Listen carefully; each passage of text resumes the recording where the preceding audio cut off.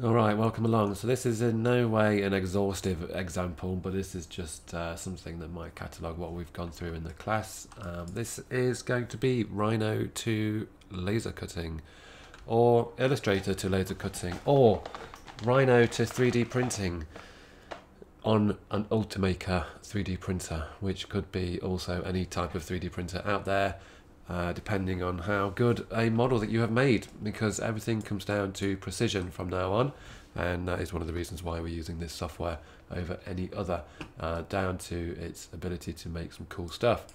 So the first thing that we can look at here is, as you can see, I'm in perspective, um, full screen, double click the word, made my background, two two color gradient, and you can see my little shape here. So it's actually quite small.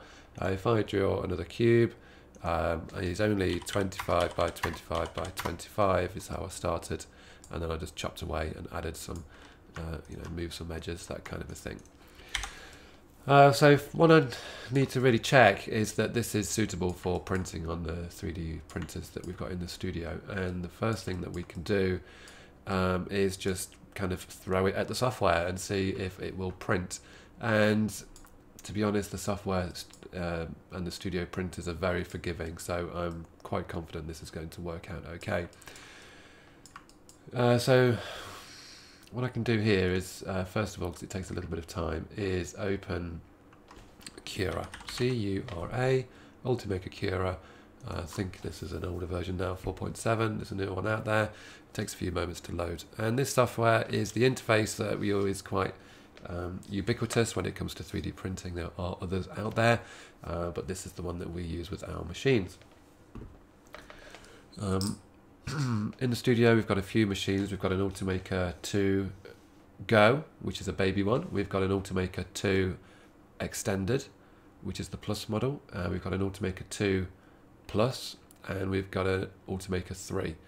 So there's a few different variants and they were all available. You can see the differences online. Uh, I'm not going to go over that. Uh, one thing that we do need to know though is we've got a nozzle size difference uh, and that is how much goop can come out of the uh, extruder at any one point. So uh, the Ultimaker 3 that I'm going to be using here is a 0.4 millimeter nozzle and that is the resolution essentially or how much plastic can come out of the uh, print head at any one time and uh, the one of the printers, I think it's the Extended Plus, has a 0.8 millimeter nozzle, uh, which means that the prints uh, can come out with good high resolution, but also they can be very quick because there's twice as much material coming out compared to the machine I've got next to me here. So with that said, this is the interface. It's really straightforward. Uh, Ultimaker Cura, it already knows what machine I'm using. If it doesn't know what machine, you know, if you've downloaded the software for this exercise, uh, you need to go to uh, printer, add a printer, and you can choose a range of machines that we've got here, to extended plus, to extended, to plus, etc. They're all there. Or there's a myriad of uh, third-party printers you can choose from. Now, these types of printers are very affordable uh, as far as printers go. They're about 200 quid. Now, if you've got a spare 200 quid, I would recommend going and buying one of these because they are uh, very versatile pieces of equipment. Um, but anyway, we do have a few in the studio for you to use. So the first thing I'm going to do here is um, export my Rhino model in a format that allows me to open it in Cura. And to do that, I'm going to select the object. I'm going to go File, export, export selected, and I'm going to drop it very lazily on the desktop in a format called STL. All the way at the bottom, it's in alphabetical order, so head down to STL, so that's stereolithography, STL format, and uh, STL means standard tessellation language or standard triangulation language. I don't know. Go on Wikipedia, figure it out. So I'm going to call this uh, test model um, save it. Just click OK on all the random values. Uh, defaults, just press yes, yes, yes, yes, yes. Okay, it doesn't matter. Uh, we'll go back to Cura and we'll open this up. And there he is, test model. Uh, a few things we might need to note here is um, the interface is a little bit different. So right click orbits. Uh, we've got a few different colors here. We've got yellow for the main object. Um, if I go underneath it, we've got red. So red means overhang. And the way that these machines work um, is like a hot glue gun suspended by a uh, little metal rod. Uh, so as you can imagine, if you pressed on a glue gun, it would uh, drizzle out the nozzle. And uh, that's basically what's going to happen on this uh, example here. So anywhere that's red is called an overhang. And the overhangs are going to be quite crucial that they have material underneath them in order for that edge to be supported and print as you would expect. Um, so looking at this geometry is pretty straightforward. Uh, one thing we need to do, so if we open the file, uh, we choose the material. So if you've only got, uh, the Ultimaker 3 has got two print heads, but 99% uh, of the time we're going to use PLA with a 0.4 nozzle. We've got some very basic settings here. We can print at a high speed, low resolution. Now that should actually still come out pretty uh, high res to be honest anyway 0.2 and you can go extra fine look so that's 0.06 millimeters per layer. It will take a very very long time and I don't really know what the uh, advantages or disadvantages of that might be. Um, really I only ever print at normal and fast you know um, for a lot of my work. Um, we've got here something here called the infill which is at 20% um, so when you 3D print you don't necessarily get a full plastic part uh, you will get a what's called an infill density percentage, and um, so that's going to be 20% full of plastic, and that's usually quite typical. Uh, what's that one? That is support. So if you do have a model that um, has overhangs greater than 40 degrees, or cutouts like this, uh, it might be worthwhile adding support. And again, that all depends. So what we'll do is we'll run it without first, and we'll run it with after. And then we've got this thing called here, which is uh, build plate adhesion, I think. Yep. Again, most of the time you will have it on brim um, as we develop this uh, skills. You can modify them, but I would stick to the defaults at the moment. So the first thing we need to do is, uh, there's our object in the print head, print bed. Uh, we can press slice and uh, there we go. It's going to take 50 minutes to print this object out. It's going to take 12 grams of plastic, which is 1.5 meters of the spool. So not bad at all. Uh, what we definitely need to do though is go into this preview tab at the top, or it was at the bottom as well, and you'll see the 3D printed part uh, as it will be uh, created. So what I generally choose as well is layer view, definitely, but also I'm going to choose line type. So this allows us to see a bit better. So we've got uh, blue, which is the brim, which is the anchoring it to the bed. We've got red, which is the outer wall. We've got green, which is the, uh, these are called perimeters. So how many perimeters it's going to do. And then yellow is the top and bottom surface. Okay. So this is what we should see. Now, it's quite important that we do this preview because uh, sometimes when we've made models, especially in things like Grasshopper and uh, we're, we're newbies with Rhino, we might get errors in the model, which mean that uh, it's not going to print. So it is very forgiving, but it does sometimes, uh, you know, remind you that you need to uh, have a tidier, cleaner model before you export it and print. So as you can see, uh, we've got these top layers inside the perimeter. We've got these triangle shapes as part of our fill and support. Going down, you can see that cylinder cut through. And that all looks like it um, is going to work. And you know, you can even watch the layer being printed virtually, um, which is pretty cool. So it's going to do the infill first, uh, outer loops, sorry, inner print, inner perimeters, which are green, and then outer loops, uh, outer perimeter, which is red. Looking good. Um, and yeah, I'm quite happy with that. I'm ready to save to file, and you save that to a USB stick or an SD card, depending on the printer that you're using. So you need to make sure you know what machine you're running it for before you start. So you can play around with these values first of all. So at the moment, you can see that we've got it on 0.2, and you can see those overhangs. Uh, let's do fine uh, key changes, I think, and slice it again. So that's added an extra 10 minutes for 50% um, increase in resolution. So that's not too bad at all. So I would probably run it a little bit higher res because you're only costing you 10 minutes and um, everything else looks exactly the same. Um,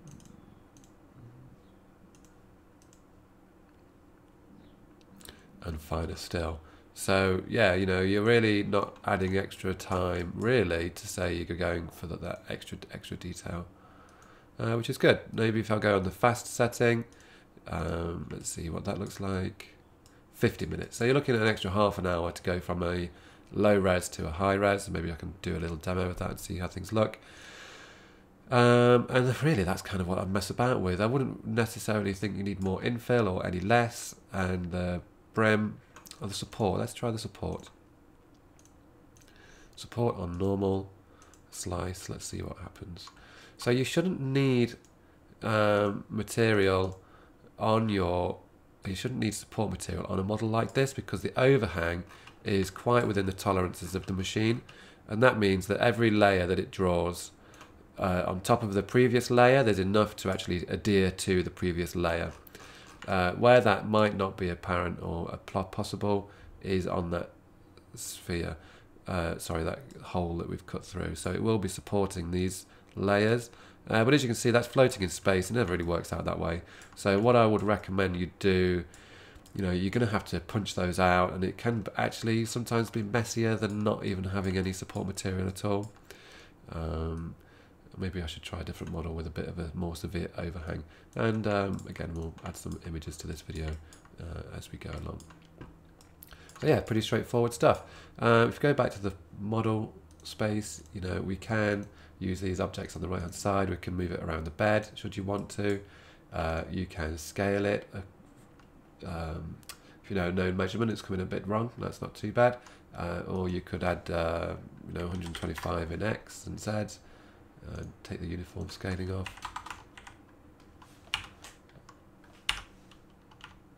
Didn't mean to do one. Now it's now it's completely dead. There we go uh, rotate in any axis. And one of the better features here, look, is that you can actually choose, uh, select the face to align to the build plate. So you can choose the face and it will squash that down.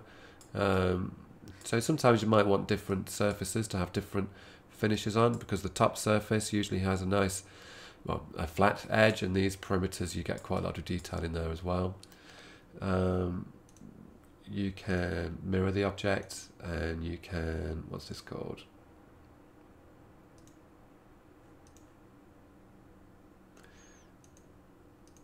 Printer support. Well, there's a lot of options I've never played with uh, and I'm not going to bother today. Uh, you can right click though and you can do multiply. So if you need five of these, you only need to export it once and you want four additional copies and then you get five and you can arrange all the models on the plate Sometimes it's quicker and more efficient for you to do it manually. And, uh, you know, let's slice that. It's pretty quick at slicing. So that's, look at that exponential growth. Uh, so you'd think that you'd have five objects, and I've messed about with the uh, orientation, but you'd think that'd be like five hours, but this is actually coming at seven and a half hours. So we should be okay to actually let's save that save this machine running overnight. Uh, they are usually pretty solid, uh, but please do speak to one of the team to double check that that is going to be okay.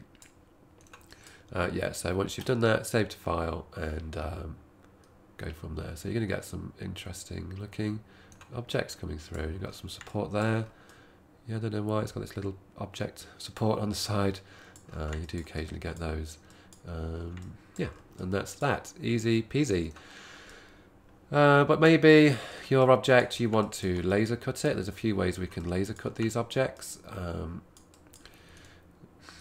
you know, that, well, I should say as well, that STL file, you can send it anywhere and most 3D printers will actually take that. There's an option in Rhino here called check. Oh no, what I need to do here is actually turn this object into a mesh. And I can do that just by typing mesh and type in or select OK here and that should have made me a mesh duplicate. So you can see that when I select my object, I've got these what are called planar faces, these um, surfaces represented by a U and a V line, these squares or crosses. However, when I mesh the object, it turns it all into triangles. Um, maybe I can go into shaded and you can see the differences there. As far as I'm concerned, the geometries are very accurate and will be represented well on the printer. You know, it does uh, tessellate and it does um, segment what would be perfect spheres. Uh, so you do have a little bit of loss in resolution, but certainly for these square faces, uh, there's very, very little to none resolution loss. Uh, what I can do here is check the mesh, and we can see that um, it's good. Uh, does not have any faces that are wrong, all the edges are okay. Uh, it is a valid mesh. Uh, another thing we can check here is volume. So I can check my original shape here for volume and it will give me a, a cubic millimeter volume. Uh, if there was a hole in this model and I choose volume, it's going to tell me that there's a hole and it can't choose a volume.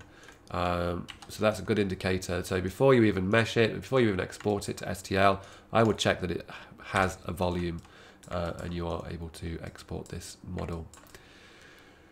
Uh, what else can we look at? Um, so maybe you want to laser cut this though instead. Maybe you really want to use a sheet of card or mount board or something to model this with. Uh, what we could do here is um, use a contour command. So uh, it's asking, I'm going to use a different view here. I'm going to use a side view. And the first thing it's asking for is the contour base plane. So I'm going to draw that at the bottom and then it's asking me for a perpendicular to object. So I want my stacks, just like we saw on the 3D printer. I'm going to replicate that, but in cardboard. So I'm going to go vertical. And the distance between, uh, yeah, now I've got one millimeter card. And we've got our objects ready here to play around with. I turn my grid off with F7. Uh, it's quite tricky to see. You can select a layer and that is the layer that you might want to go. This is going to be quite brutal when it comes to layering these out. Um, so what I'm going to do here instead is do contour again.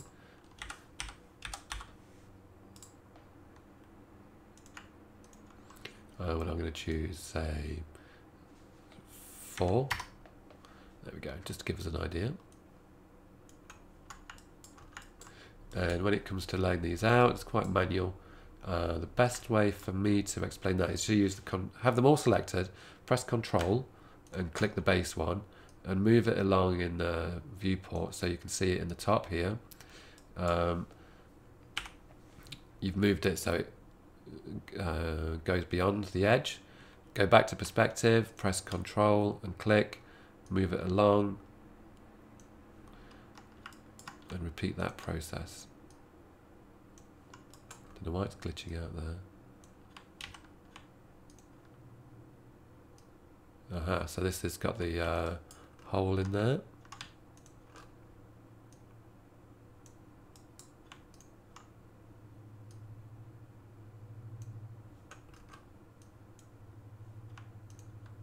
Yeah, there is a display glitch there, isn't there? I'm not entirely sure why. You get the idea that this is quite a process. but I'm going to use this in a sec to do the example in Illustrator for laser cutting.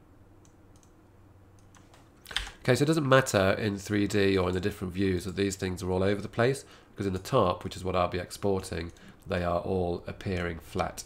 So I'm quite happy to keep them as they are. That was a contour command using the different layer heights. Uh, the other thing I can do is, um, you can see that when I've built this shape one on top of the other, uh, it hasn't made a single face for this edge. So if I wanted to take this edge away and laser cut that, then I would have a few problems here. It would essentially see it as two shapes. So I can use a command here called unify, no, not unify, merge all coplanar faces. Merge all coplanar faces and you can see that it's kind of taken those two faces and merged them into one. So it's merged all coplanar faces. And a few things we can do here. I think there's a command called um, unroll. Um, press OK. And there you go, you've got all the faces already laid out for you, which is pretty cool. And as you can see, it's overlapping these geometries that I've already created there. to move him out of the way.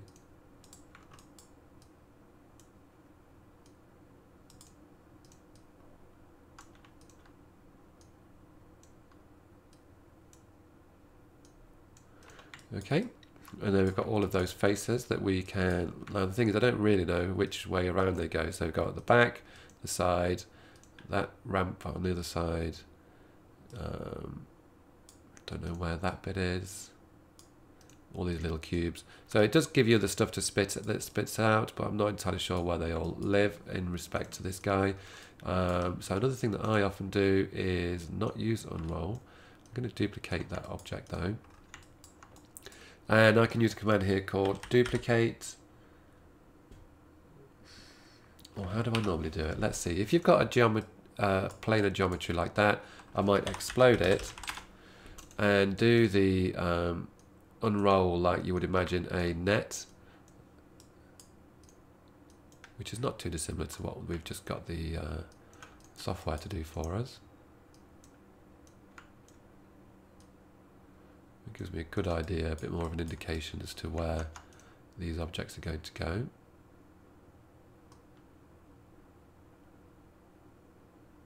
Can fix that rotation in a minute.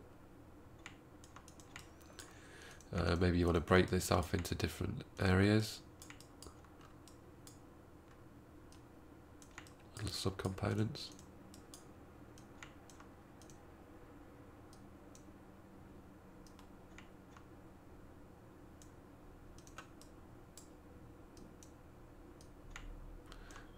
You get the idea there, I hope.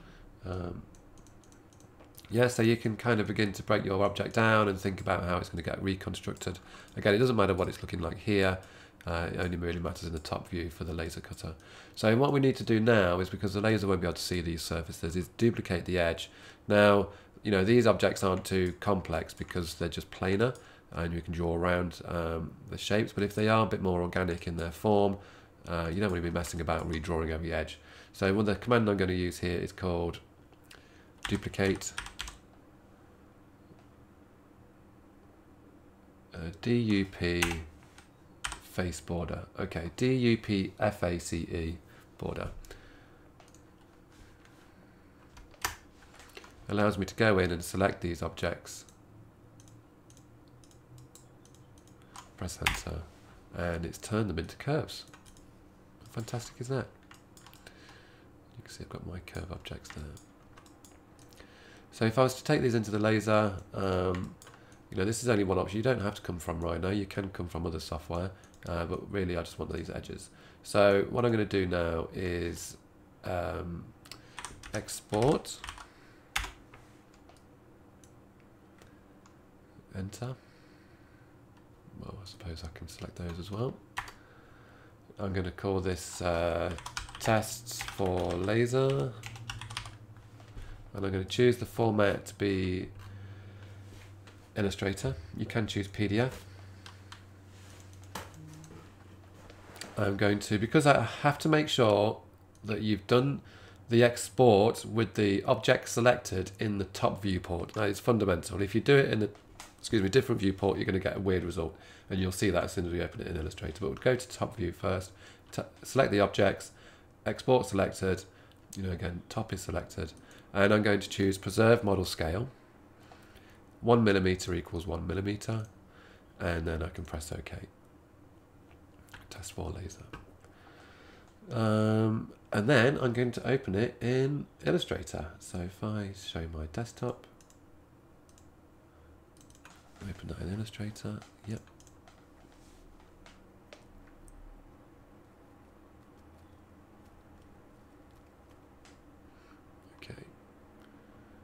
Extend that view. Cool. All right, so it has remembered pretty much where it was in relation to the origin on Rhino. Um, the origin is 0, 0, 0, so that's where the grid is, uh, which I've turned off, so F7. So it knows that I've exported it from this corner uh, on the grid, and um, again, if I overlay that in Illustrator, you can see that it's positioned it, which means that when you export things, you need to be sort of near zero, because Illustrator only has a canvas which is like three meters wide, and if your building is 25 meters wide, um, it's not going to be able to export it all the way over to the most extents of your model. So always make sure you're exporting them sort of close to the uh, center or origin. A few things we need to pay attention to here. Uh, every laser shop is going to be different, and every laser shop is going to have its own set of rules and requirements. So you're going to need to go into those and open a dialogue with those people. Now, for AUB and uh, Hey Create, I know uh, what they are, which is great. So I can preempt a lot of this stuff. I'm not entirely sure what that is.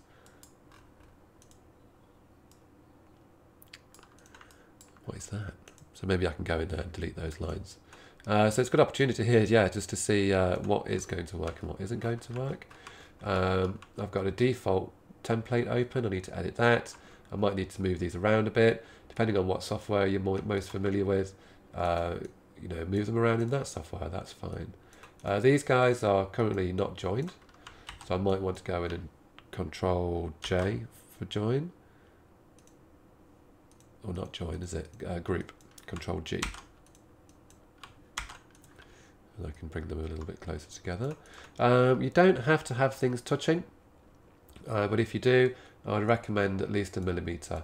So I would grab the ellipse there, um, and I'm going to just choose one millimeter, one millimeter, and you can put millimeters in even though it's set to points, and you can see that I've got my uh, millimeter guide essentially here.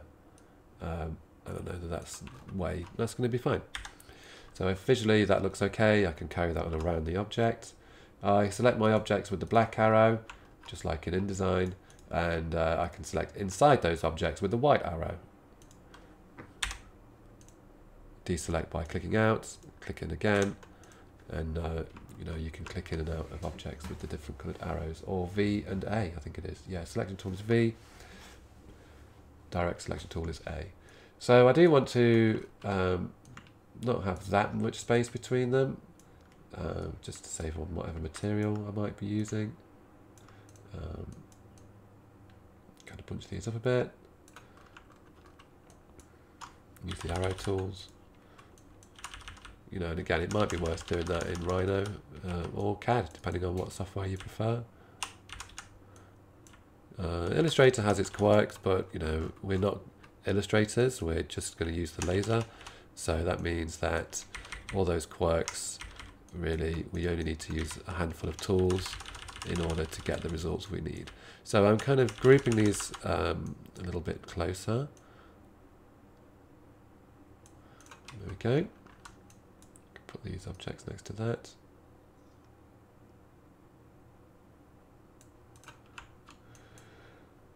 Uh, a few other things we might want to think about is we need to know uh, the scale. So this all should translate quite neatly, uh, but one thing you could do is draw in a uh, rectangle, which is click once on the canvas and do 25 millimeters, 25 millimeters, and that way that when you put in a text object, um, you can just put in 25 by 25 millimeters okay? And that way that the guy the person who's running the shop knows that that you know you might want to put that in an email that that rectangle there is the scale okay? Just in case there's any translation issues. Uh, I want to compress this artboard as much as possible and um, I'm currently in the essentials um, which you, might be used to because sort of works a bit like uh, InDesign here. Uh, what I need to go down to here though is edit artboards on the right hand side under properties and choose um, I think what I might do here actually is change my units. So for Windows I'm going to go into edit preferences units and I'm going to change all of that to millimeters. Uh, and then I'm going to go back to the artboards into properties and I'm going to change it to A4 let's say? So it's going to be that looks like it's landscape so 297210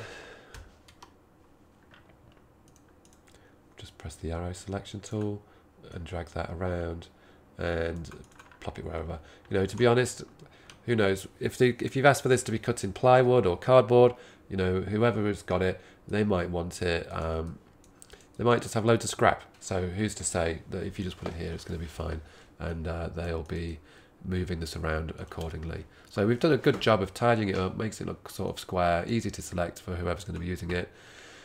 Um, and we just need to check a few things here. So if I go to, where do I go? Let's go to the course blog.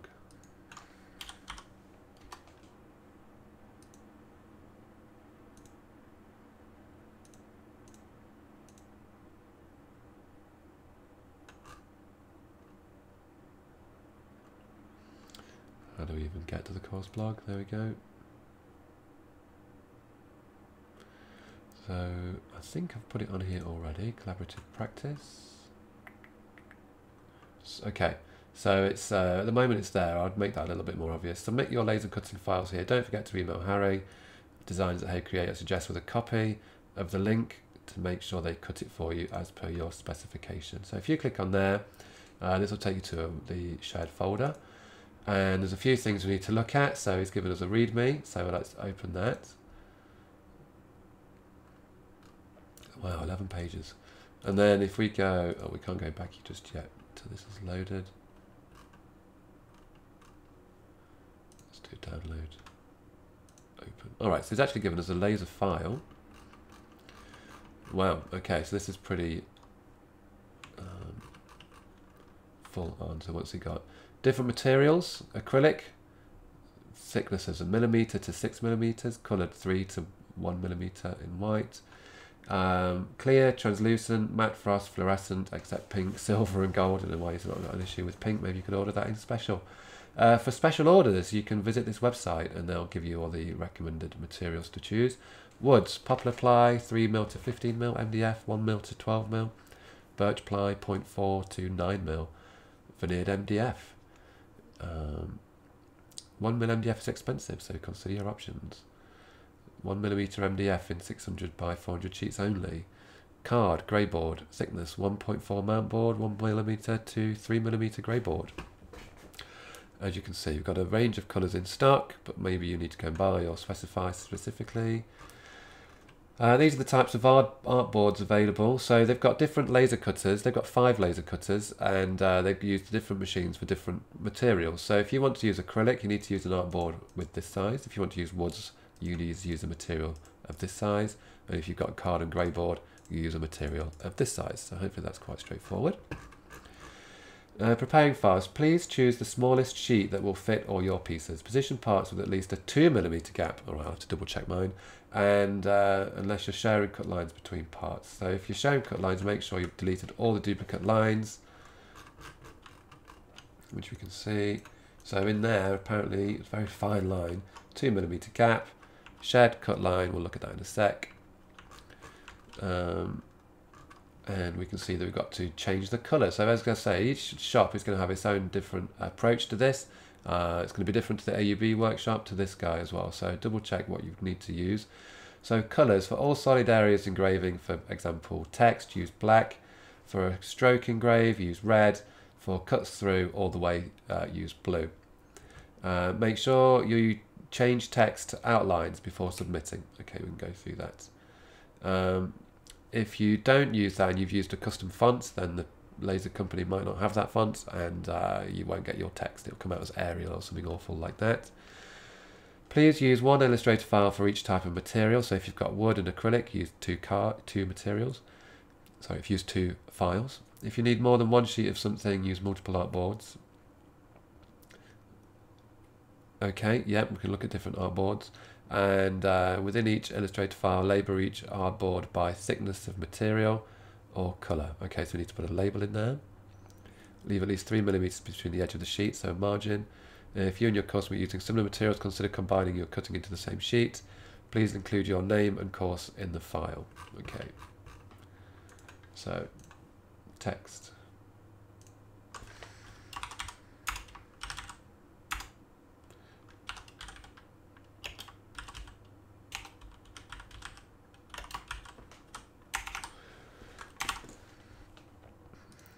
Okay, so that's pretty much going to do that. And if I want to do something with a cool, crazy logo, um, obviously, oops, obviously I am the last person to ask about cool names and logos. Uh, but let's say that I'm going to use this font. Um, I need to make sure that uh, the laser is going to see this. So at the moment, this is just a text object with a text file, like a text object.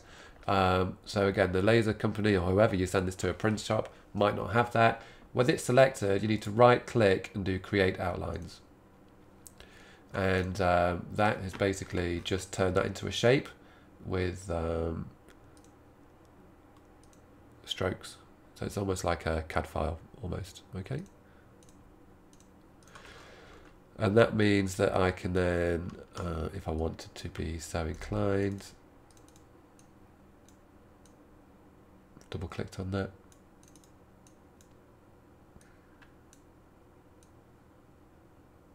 Yep, I can put that on here. So that's going to engrave and we'll look at some examples of what they look like later. Uh, cool name, uh, can it be engraved? Everything else wants to be cut out, doesn't it? Or maybe I can do a couple of different options as well. So change all of my lines to, what did it say? Blue, black fill, contour lines, red. Doesn't say anything about RGB. Okay, so at the moment you need to make sure your color mode, so that's file, color mode is set to RGB, good. And I'm going to select all my shapes, except for that text there. And I'm going to go to the appearance under the properties tab. At the moment fill is question marked. I'm going to click on it and choose the zero fill. Oh, except for that text. And give that black. And then the stroke is going to be set to uh, blue. No, at the moment I don't have any colours. So I'll choose this art palette. I'll give it black for now. Um, got a bit weird, got a grayscale slide. I'm going to choose this burger bar menu in the top right of that panel called RGB. And you can see that I've now got sliders. So red, green to zero, blue to 255. And I've now got, um, don't want a blue cut on my text. Blue lines for cutting and what I'm going to do here is I want a what they call a kiss cut or a stroke line engrave. Um, I want uh, engraving maybe panel lines. I'll change that to red.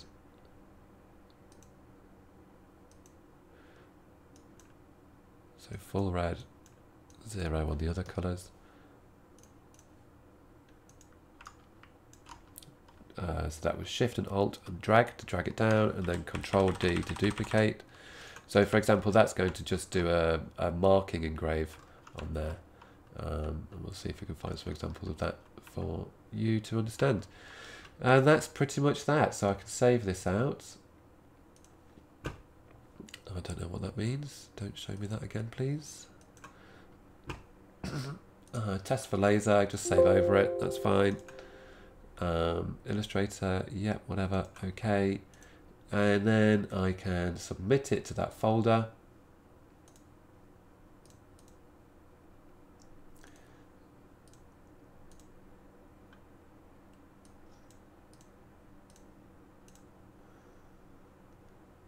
And once it's done that, I can share. Obviously, I've got to give it a sensible name.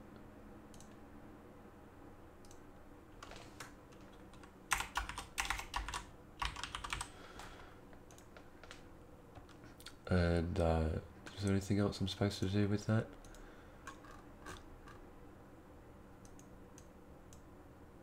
Please include your name and course in this name file. Yeah, okay. Um, and then you can email as per the course blog, uh, which is a few pages back, that designs that Hey creates with the link of this and um, share away okay and make sure you get your file one thing I forgot to look at here was duplicate artboards Let's say you've got loads of things you want cutting in 3 mil poplar ply. You just go under the properties, you can do edit artboards, and you can draw a new artboard and give it a new size. A3, for example. Okay, so then you can have multiple works on diff ah, different artboards. And hopefully that covers most of that stuff. Um, we've got loads of examples. Oh, we've also got one here called Chitubox, which is um, the software that we use for the very fancy resin-based printer. And it's very much the same as um, Cura. Okay, so the difference here is the resolution is significantly higher um, especially for these detailed models. So at the moment, this model is too big. You can move it around really quite freely. Anything that's bigger than the build platform, as you can see, goes red. Um, you can rotate it nicely.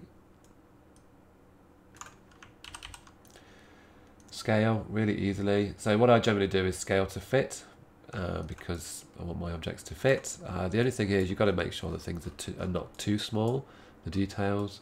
Um, and when we, we also have to put in the support material. You have to use support material on this machine, as far as I'm aware. Now, if you go online and watch videos on how to use Chitubox, um,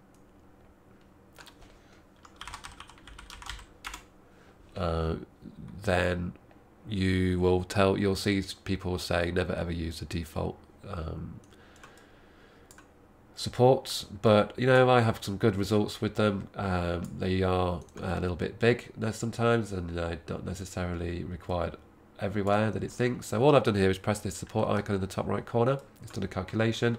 It's figured out where it needs them all. You can see these little grey pegs coming out at the bottom of the model. Um, and all I'm going to do here is press these plus platform and it's automatically going to generate all of those supports for me. Um, hopefully this is all going to going to work. There's a high failure rate with these machines. Um, it can push and pull the parts and it can distort the objects. Uh, the more supports generally the better but if you can if you go online you can fix this but I don't have time for that so I just do that and then press the uh, cog and kit menu again the layer and then do slice just press OK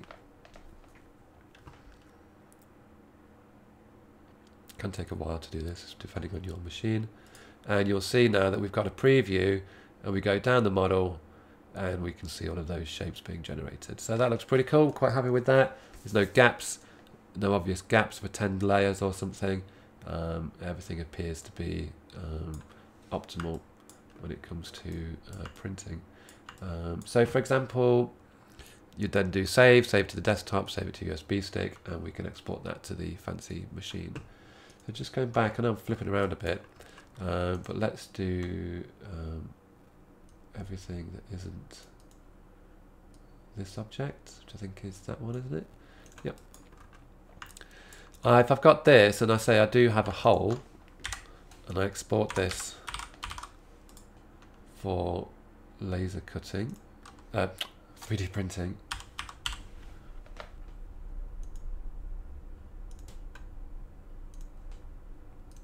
test model hole.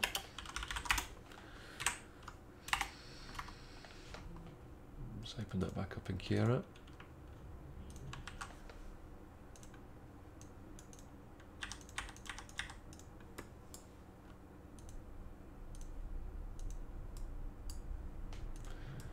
What if you can reset model? Reset all model positions. There we go. So that's the original one. And I'm going to open test model hole, you can see straight away that there is a hole. It's a really cool pattern, actually. Uh, it's telling me that I've got an error. It's called non-manifold. So it means I've got a non-manifold edge, uh, which uh, is either missing or it's got extraneous surfaces. You can't have two faces on top of each other overlapping, doesn't quite understand what's going on, and you can't have objects with a hole in it. So this is an extreme example. Sometimes your holes are going to be so small, and it might be around where an object booleaned in You know, it might be a hair width hole. It's very tricky to find and isolate. Uh, but if I do slice these and look at the preview, you know, I've got support on. So this is what it's supposed to look like. We've looked at that one already. Um, and this is one where it's got a hole in it. Now, if you go to print, uh, you know, it will print fine, but then after uh, two hours, you'll come back to the machine and you'll be like, what the hell's going on here? Uh, you know, you got half a bit there and half a bit here. Um, it's because you've got an error in your file. So always check. You can check in Rhino. If I do a mesh, and you can do a check mesh or check. Um, it's got 18 naked edges. Can cause problem if the ultimate goal is to 3D print or STL output. Uh, it's still calling it a valid mesh, but um, it is, as you can see, quite clearly broken. So um, check it in Rhino. Always make sure you do the visual preview in both Ultimaker and Chitubox. Okay, uh, and bear in mind that when you get your objects back from the laser cutter, it will be in a bag uh, with no labels and no order to it. So be aware that you will be figuring out where things go and how things are stuck together. Uh, so yeah, so you've got the colours, really, the outlines, the artboards, the material types. Make sure you name everything, and um, a little bit of Illustrator to learn, but it's pretty straightforward, especially coming from InDesign. Uh, the biggest thing is just getting quick at all the processes in order for you to make mistakes, fail fast, learn quick, and adapt and overcome. Because uh, it is worth it. It is really fun. And um, I look forward to seeing what you guys produce. Thank you.